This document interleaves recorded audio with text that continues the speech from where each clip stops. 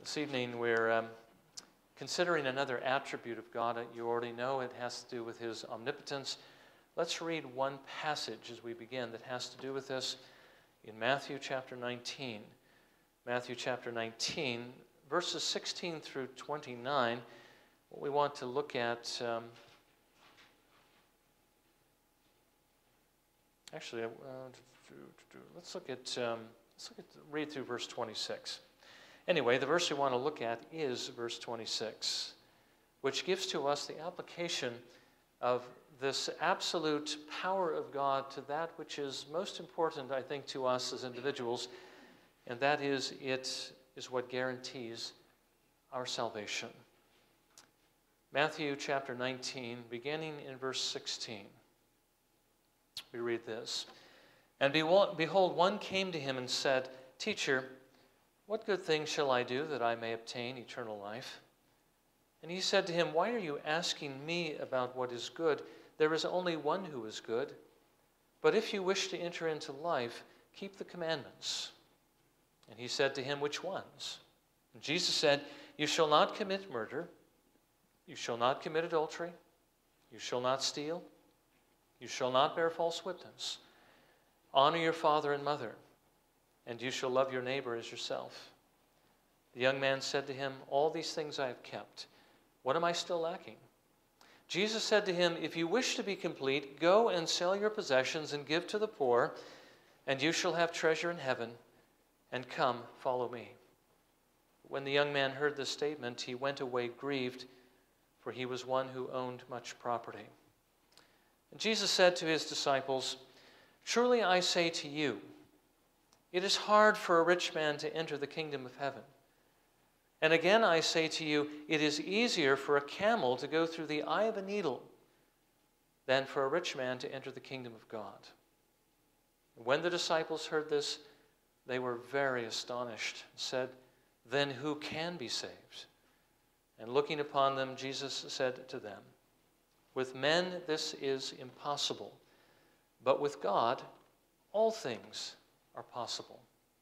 May the Lord bless His word to our hearing this evening. Let me just uh, point out a couple of things in this text. I think, first of all, it reinforces for us what we saw this morning with regard to the fact that God doesn't want to give to us a great deal of the things of the world because they will become a snare to us as they were to the rich young ruler. Uh, when Jesus told him what was necessary to enter into the kingdom of heaven, he actually believed that he had done what was required, that he had loved his neighbor as he loved himself. But when Jesus told him that he had to let go of his possessions, sell them all, and give them to the poor, that he might have treasure in heaven, he wasn't able to do that because he had a great deal of property. He had a lot of the world's goods, and that kept him from being able to pursue the kingdom of heaven the way he needed to in order to be saved. Jesus put his finger on an idol that was keeping him back. Now, it is interesting that the disciples, when they heard what Jesus had to say about the rich man, asked the question well, if he can't be saved, then who can be saved? Why would Jesus say that if the man was you know, in, entrapped by all these possessions in the first place? Well, it's because those who were rich had the luxury of being able to pursue the things that they wanted to at their own leisure. They didn't have to work. This man could have pursued the kingdom of heaven with all of his time. And the disciples were a bit concerned about that. If a man who could devote all of his time to this can't be saved, then how are we going to be saved? Well, again, Jesus points out, uh, comes to the root of the matter and says, it's impossible with men. Doesn't matter how much time you have, doesn't matter whether you're poor or rich, you actually could not enter the kingdom of heaven by yourself anyway. It has to be the work of God, but with God it is possible. With men it's impossible. The reason why it's possible with God is because God can do all things. All things are possible with God, especially the things that are most important to us, which is salvation. He is able to overcome the things that stand in our way. He can save us even though we cannot save ourselves. As you know, we have been looking at these different attributes of God as the reasons why we should love Him. And we did start with what we call the moral attributes of God, all those fruits that flow from his love as so many reasons why we ought to love him. And really, it's not hard to love a being who has infinite love, especially when that love is flowing out to us through the Lord Jesus Christ. That love is offered to us, that love is really given to us. And when we receive Jesus, we receive that love and all the benefits of it. It's not hard to love God like that. But now we're looking at what we call his natural attributes, those things that have to do with his power, uh, actually, with his greatness in every way. And these things can be reasons to love God as well, especially when they're combined with his infinite love. If God did not have this love, if he, um, well, if he was, let's say, a God of infinite evil or infinite hate, he would be one that would be infinitely to be feared. And certainly those who are outside of Christ should fear even a God of infinite love because he is a God who loves justice, as we saw. But of course, combined with limitless love, and when that love is actually directed towards you, that becomes a reason to love him. Now, we have seen a few of these attributes as well. The fact that God is omniscient, the fact that he knows absolutely everything he knows everything that has already taken place. He knows everything that is going on now, everything that will go on in the future. As a matter of fact, he even knows what might go on if circumstances were different. God knows all these things, and of course, he knows them because, well, he has infinite knowledge, but also because it is a part of his plan. We saw the connection between his knowledge and his plan. God knows something's going to take place. He either agrees with it or doesn't agree with it. If he doesn't agree with it, he changes it. But if he knows it's going to take place, it must mean he agrees that that should take place, which means it is his will. The fact that God knows everything that's going to take place means that that is his will. But again, that's all tied up in the sovereignty of God for another subject. But this is the important point. The fact is, God, knowing everything that's taken place regarding us, knowing everything that we're doing, everything that's going on with us right now in our minds and in our hearts, even knowing what we're going to do in the future. And one thing we didn't mention under this topic is He not only knows what you're going to do in the future, but He knows what you would do under any given set of circumstances. And knowing all those things, and again realizing what the Bible says is true about us, He still chose you. He still granted you mercy. He still uh, decided to set his love upon you so that when you do sin, and we all sin, doesn't take God by surprise. God knew it in advance. He's not going to reject you for it. He's not going to cast you out of his family. He knows these things, and yet he still loves you. And that is a marvelous truth and a reason why you should love God for his omniscience.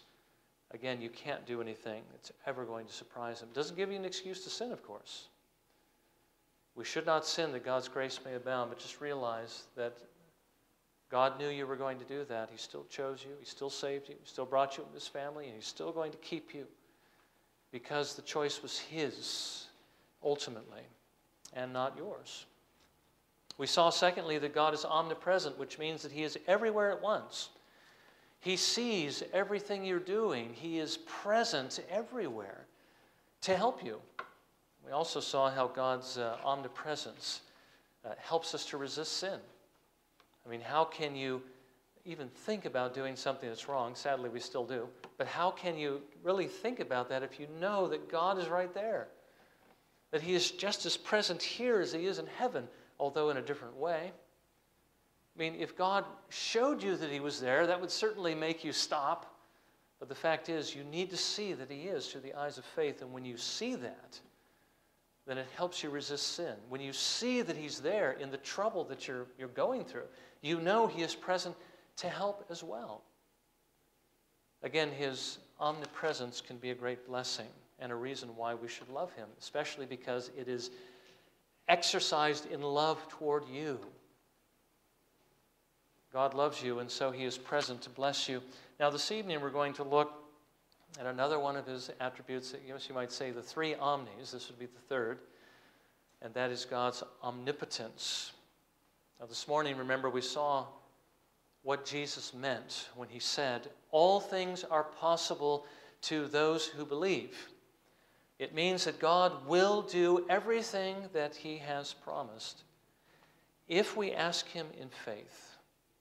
One thing we didn't talk about is the fact that we do need to wait on him for his timing, and we'll, we'll look at that a little bit this evening. But now we want to focus on the fact that it is God, it's God by his infinite power that does these things. It's not faith that causes these things to take place, which actually some people believe. Somehow faith has the power to move mountains by itself, but it's not our faith, it's God. Basically, Jesus means by this what our text tells us that these things are only possible because all things are possible with God, who has infinite power. So this evening, let's consider two things. First of all, that God has unlimited power. Secondly, that because He does, He can and He will fulfill all of His promises, particularly the one to save us. He will bring us to heaven. Now, I am going to, um, in this particular sermon, talk about a number of examples I have from the past of abuses of these kinds of things, particularly in the abuses that are attached to faith. And we're going to see that under the first point that God has unlimited power. Now, we do want to understand what this means. And I think, again, the best way to um, look at this or to understand this is to consider what it doesn't mean. It is interesting that in the history of the church, in the history of, let's say, the interpretation of the Bible, for every truth the Bible contains, there is an opposing, a corresponding opposing error.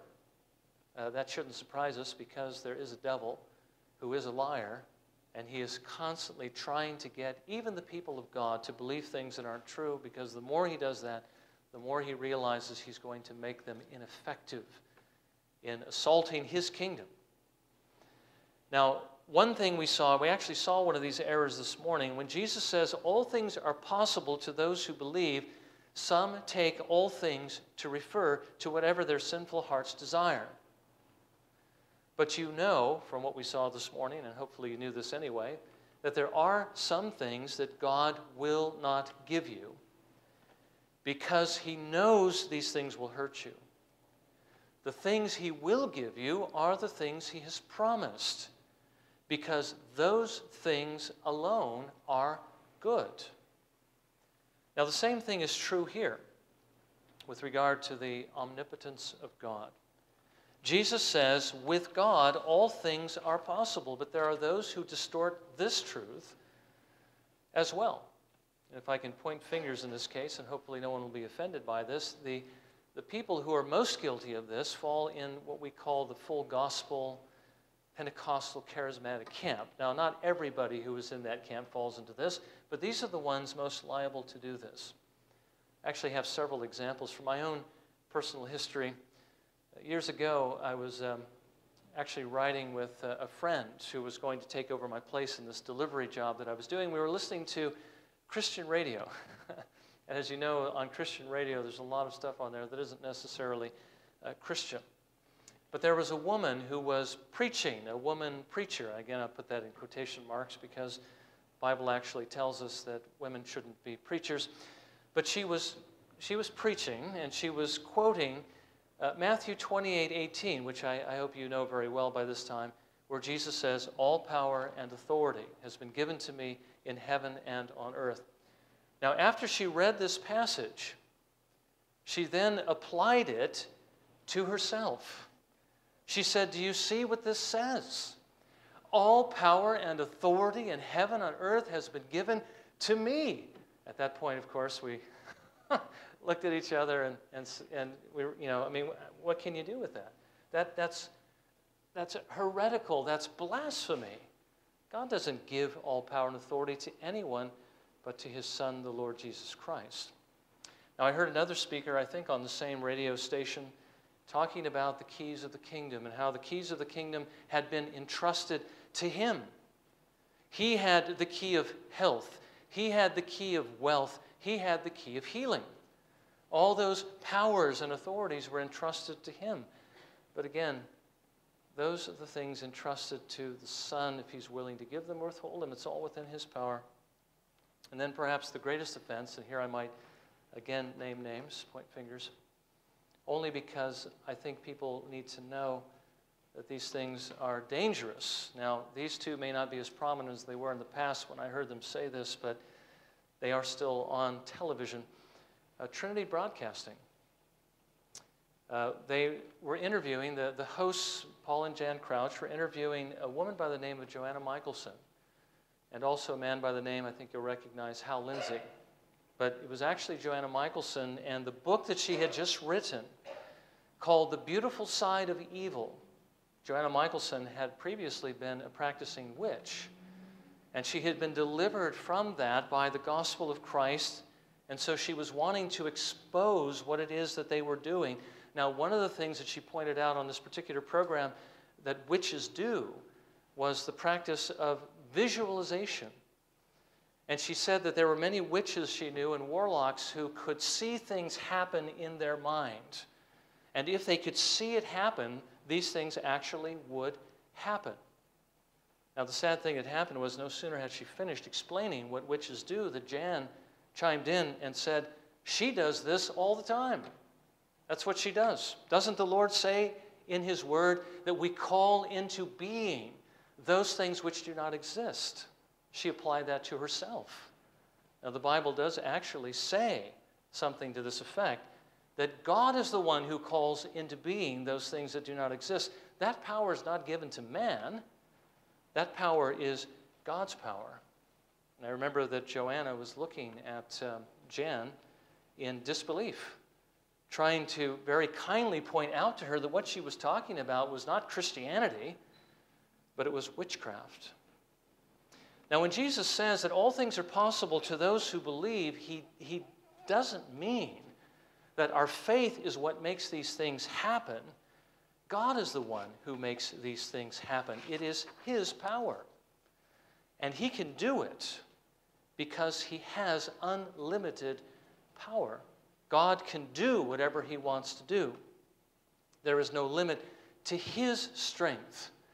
It is as infinite as all of His other attributes. And again, the greatest example God wanted to create a world. And he did it by speaking a word, and it came into being. Actually, the Bible says that God spoke eight times over a period of six days, and he created all that we see. You know, let me just pause here for a moment on the doctrine of creation because this is the one most appealed to, I believe, in Scripture to demonstrate the power of God. It's one thing that God could reach down into the dust of the earth and, and form a man and breathe into his nostrils the breath of life and make him a living being when we consider all that goes into a human being. That's amazing. But the fact is, God created not only us, which shows marvelous wisdom, as we've already seen. We're fearfully and wonderfully made. But when you consider the universe was created by God, I think that's a much greater display of his power. But do you realize that God created these things in the space of six days? Now, some Christians seem to have a hard time with believing that God could do this in six days. They don't seem to be able to conceive of God being able to do something so great over such a short period of time. I think they think it's easier to believe that billions of years, God could do it in billions of years. Uh, but six days, well, that's kind of hard to believe. Now, again, some of the reasons why some, even believers, sadly, believe this is because they have bought into the evolutionary dating methods, which have been proven uh, to be somewhat biased. You basically find what you want to find as you go out and uh, into the world and look at the different um, uh, radiological chronometers, these different clocks that the Lord has put into the world they don't actually say that the world is, is that old. Um, we don't have time, of course, to critique those things, but there are, are many good critiques of those things available. But again, if there's more time, it seems to be more believable. And yet, there are others who actually uh, have this understanding of the infinite power of God who look at the same thing and come to the opposite conclusion. I mean, for instance, if you read Genesis 1 and you realize that God has infinite power, then why would he take six days to do something that he could have done just as easily in a moment of time? You know, Augustine actually had that problem, and, and he would be in the, uh, the fourth and fifth century. He said he thought the same thing. Why would God do over six days what he could just simply speak into existence in a moment? So Augustine believed that really what God did was he did create everything instantly. Now, we do, of course, have to take into account what Genesis says. God did create in six days. And the reason why he did that was to establish the work week for us. I think that's really the only reason why he took six days to do something he could have done in an instant, because he wanted to establish the work week, work six days and rest on the seventh, just as God did. But again, the point is, God could have done it in a moment of time if he wanted to. As a matter of fact, the Lord did when it came to the universe. It was just one of his fiat acts, one of his, his statements let it be. And it was.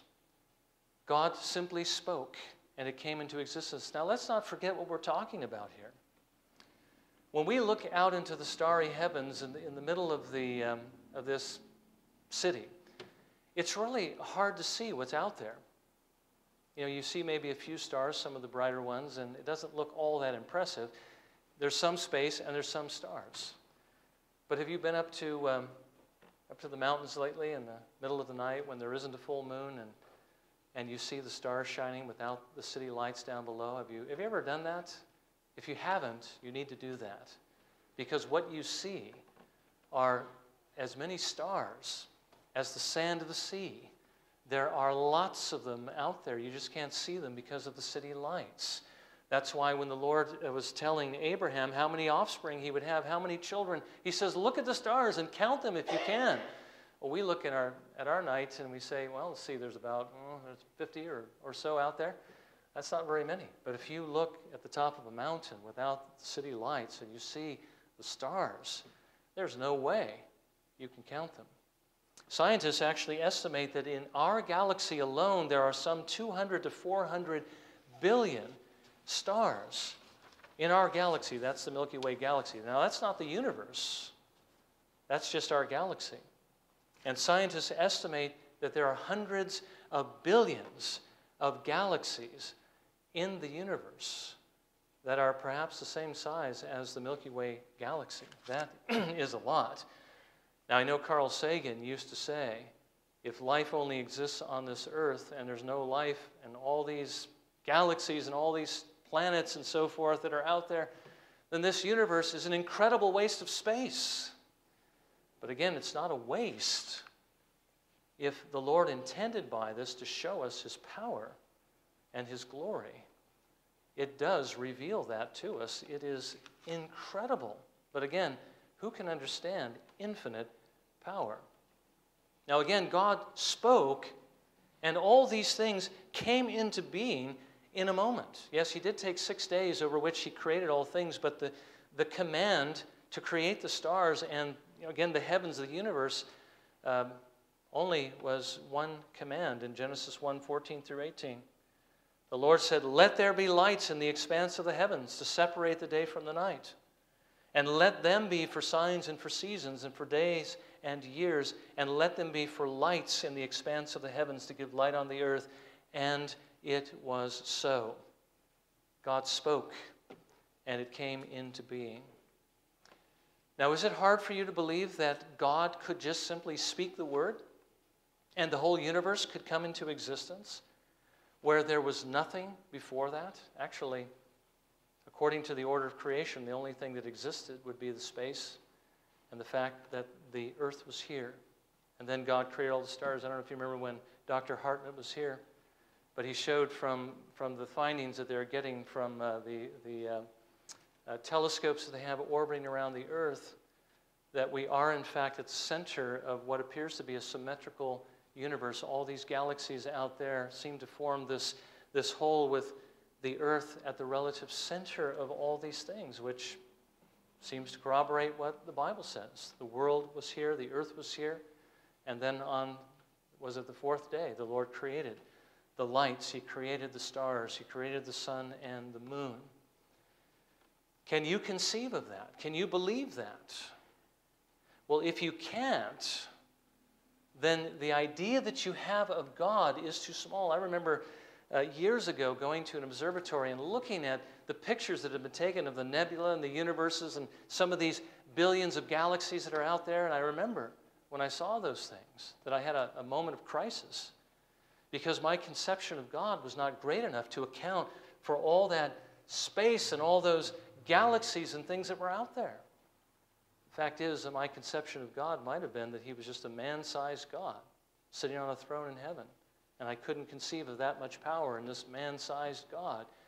But the fact is, he isn't man sized. He is infinite, as we saw. He is omnipresent. His, his being fills everything. There's no limit to God. Even as there's no limit to his being, there is no limit at all to his power. He can do anything he wants to do. Again, Jeremiah writes in our memory verse and our meditation something that, that was amazing to him. I mean, he could see the starry heavens, but he didn't have the understanding that we have.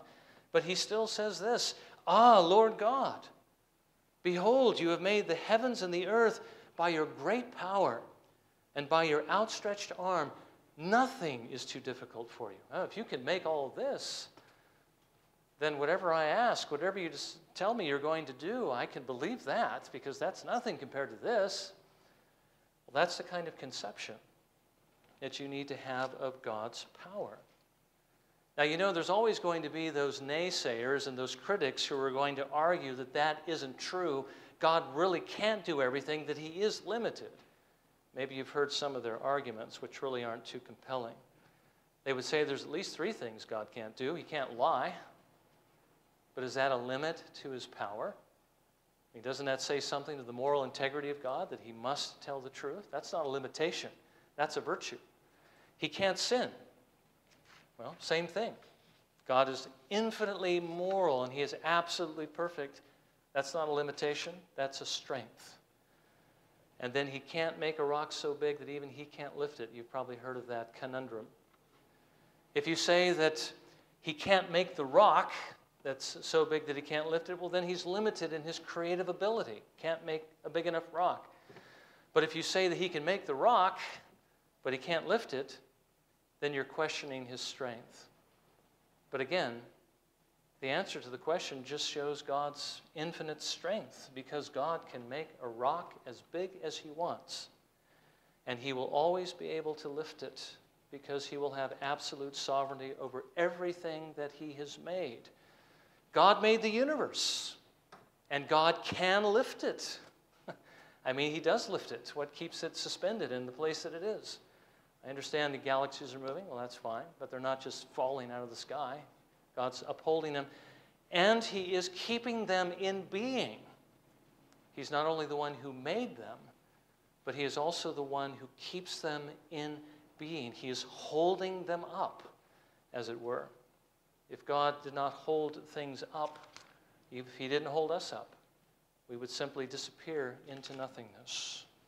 God has infinite power. Of course, there's other things that God can't do as well. God can't cease to be God. God can't die. But these are strengths, not weaknesses. God has infinite strength. Well, now we get to the so what. What difference does it make that God has this power? Well, again, the important thing is for us personally is that because God has this power, He can fulfill His promises. He will fulfill these promises because of his integrity. He will bring our salvation to its completion. We will be saved. And God can do this with infinite ease. If God can speak and bring the universe into existence, can he bring the souls of his people to heaven? Well, of course he can. Paul writes in Philippians 4:19, "And my God will supply all your needs according to his riches and glory in Christ Jesus. It is no trouble at all for God to do whatever He has promised that He will do. Now, again, He may not necessarily fulfill these promises at the time you want Him to do it, the time I want Him to do it. Sometimes God will wait in His answers uh, to even the things He has promised because He knows by waiting that He will receive more glory. And by waiting, the answers to those prayers will be more useful to you. But He will do them. If we ask anything according to His will, we know that we have received what we asked because God has promised, because God cannot lie, because God has the power to do it. He will do it. Now, again, most importantly, because the Lord has infinite power, you can know that you will make it to heaven. God, by his infinite power, that's, that's how the Lord overcame your heart. Do you realize that the only thing that was standing between you and salvation, once the Lord provided the Lord Jesus Christ, was only your heart? You were dead in your sins. But God, by his infinite power, made you alive. God has the power to overcome your heart. Paul writes this in Ephesians 2, verses 3 through 5. Among them, we too all formerly lived in the lusts of our flesh, indulging the desires of the flesh and of the mind, and were by nature children of wrath, even as the rest. But God, being rich in mercy, because of his great love with which he loved us, even when we were dead in our transgressions, made us alive together with Christ. God has the power to raise you from spiritual death to spiritual life. His infinite power is what enables him to do this. Now, the Lord, in his infinite strength, can also overcome one of your greatest enemies, which is your sin. By the way, that's extremely comforting to know that God has the power to subdue my heart. He was able to subdue it in bringing me to Himself and bringing you to Himself. He is also able to subdue your heart, of course, after He has brought you to Himself. He is able to overcome your sins. Now, the Lord says He's not going to do it all at once. There is going to be a struggle. Paul writes in Galatians 5:17, "For the flesh sets its desire against the spirit, and the spirit against the flesh. For these are in opposition to one another." So that you may not do the things that you please. But he also says he will give you the strength to overcome your sins. You realize if God didn't do this, you would be lost. He says in verse 6 But I say, walk by the Spirit, and you will not carry out the desire of the flesh. God subdued your hearts when He saved you. God continues to subdue your heart by His Spirit, by His power. And finally, the Lord says that He will overcome all of your enemies by His infinite power, and He will bring you to heaven. Again, I'm just talking about the things that, that are most, most intimately concerned with us. As far as God's omnipotence, what difference does it make? It means you will be saved. It makes all the difference between going to hell and going to heaven. Because if God did not have omnipotent power, there was no way that He could guarantee that you would make it to heaven. But the fact that He has it means you can and will be saved. Jesus says in John 10, verses 27 through 29, My sheep hear my voice, and I know them, and they follow me. And I give eternal life to them, and they will never perish. And notice, and no one will snatch them out of my hand. No one can. My Father who has given them to me is greater than all, and no one is able to snatch them out of the Father's hand. Why can't the enemy take us away from God? Why can't he condemn us? Why can't he cast us into hell along with himself? It's because of God's infinite power. No one is able to snatch us from the Father's hand. Paul actually uh, talks about every created thing, that nothing can separate us from the love of God in Christ because of his infinite power. He says, Will tribulation or distress or persecution or famine or nakedness or peril or sword? Just as it is written, For your sake we are being put to death all day long. We were considered as sheep to be slaughtered. But in all these things we overwhelmingly conquer through him who loved us, for I am convinced that neither death, nor life, nor angels, nor principalities, nor things present, nor things to come, nor powers, nor height, nor depth, nor any other created thing will be able to separate us from the love of God which is in Christ Jesus our Lord. The reason why these things cannot separate us from God is because God has unlimited power. That's why Paul could write in Philippians 1 6. For I am confident of this very thing, that he who began a good work in you will perfect it until the day of Jesus Christ.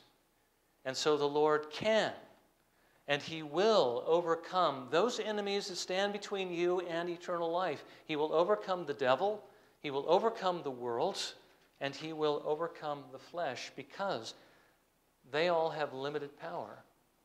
But he has limitless power. Now, again, the question that you need to ask yourself this evening is can you love a God like this? And do you love him? Would you have God to be any other way than what he is? I've already said if God did not have infinite power, then you could never be safe. The possibility would always exist that one of your enemies might snatch you out of his hands and destroy you. But because his power is infinite, there is no possibility that that could, that, that could happen. It's another reason why you should love him. Infinite power means eternal safety. And that's what God has. And that's why you should love him if you are a believer here this evening.